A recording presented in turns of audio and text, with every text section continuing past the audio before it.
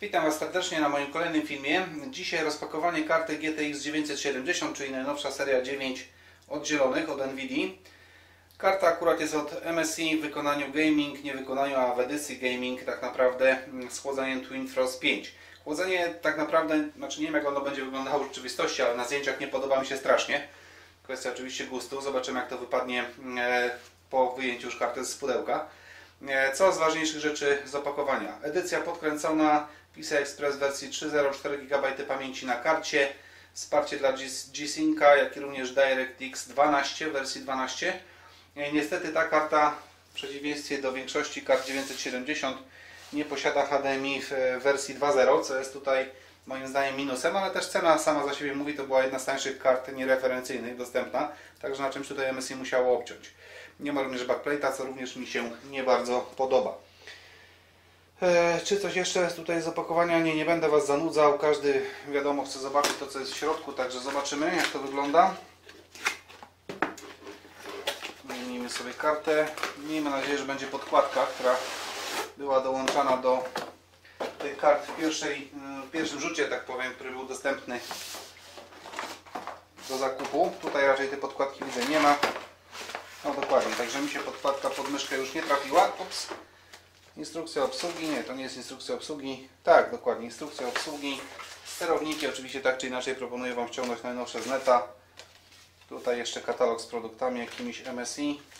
Przejściówka 6 pin do 8 pin. Coś jeszcze wypadło. Mm, I DVI do VGA, czy VGA do DVI, jak to woli. Sama karta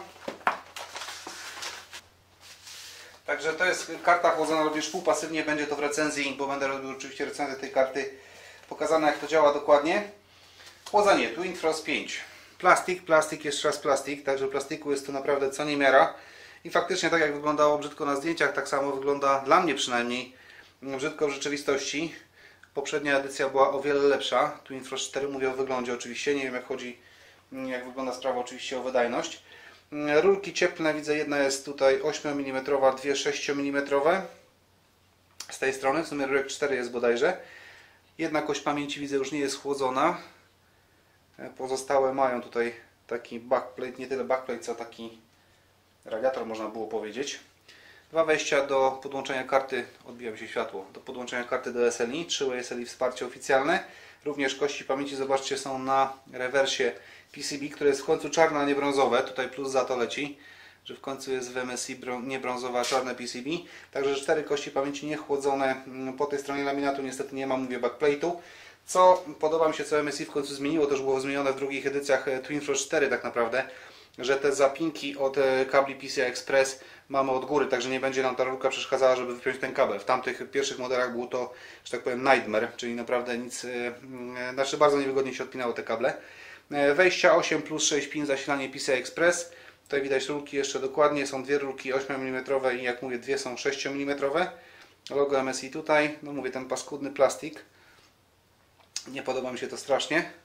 Ale koniec już narzekania. Dwa wentylatory 10 cm. Miejmy nadzieję, że karta będzie cicha. Między innymi dlatego to wybrałem. Wahałem się nad gigabajtem również, bo wyglądowo mi się podoba gigabajt o wiele bardziej. Natomiast gigabajt też miał przynajmniej karty, które ja miałem od AMD z tym chłodzeniem Twin Frost, nie Twin Force, a Windforce razy 3, tym najnowszym było dość głośne, a do tego piszczące cewki. Wejścia DVI i DVI-D, tu jest D, tu jest I, wejście HDMI i DisplayPort, także wejść nam nie zabraknie, co ważne możemy cztery monitory naraz podłączyć pod tą kartę. E, tak to wygląda, nie wiem czy coś jeszcze Wam o tym tutaj mówić. Karta nie jest zbyt ciężka, także tutaj nie ma problemu, nie powinna się uginać w slocie. Właśnie też się o gigabajta bałem, że będzie się uginał w slocie PCI Express. Nie będzie to ładnie raz, że wyglądało, a dwa, że jednak ten e, slot będzie nadwyrężony. Ja może tak Wam ją postawię, żebyście ją jeszcze widzieli. Tak prezentuje się karta, krótkie rozpakowanie.